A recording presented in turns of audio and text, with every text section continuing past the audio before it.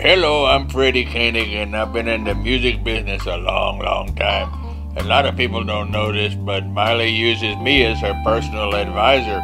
She, she and I sometimes go off to this island where we go, and she asks me what should I do with my career and stuff like that, and I give her advice. She's a sweet girl, and so I just wanted y'all to know that. Love y'all. Bye.